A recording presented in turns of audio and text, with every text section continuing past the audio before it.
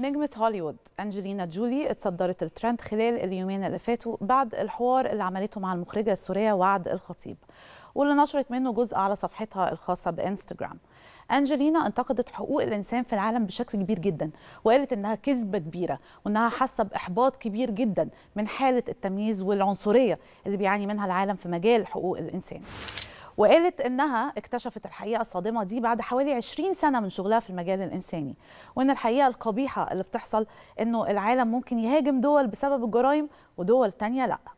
كلام النجمة العالمية واللي كان ضمن فيلم تسجيلي للمخرجة السورية وعد الخطيب اسمه نحن نجرؤ أن نحلم أثار غضب كبير جدا من الصحف العبرية واللي انتقدتها بشدة ولكنه طبعا لقى تأييد كبير من العرب والأجانب. وأنجلينا كانت انتقدت بقوة الهجوم الإسرائيلي على قطاع غزة بعد أحداث 7 أكتوبر ونشرت صور للدمار الكبير اللي حصل في قطاع غزة واللي وصفته بالإبادة الجماعية للشعب الفلسطيني.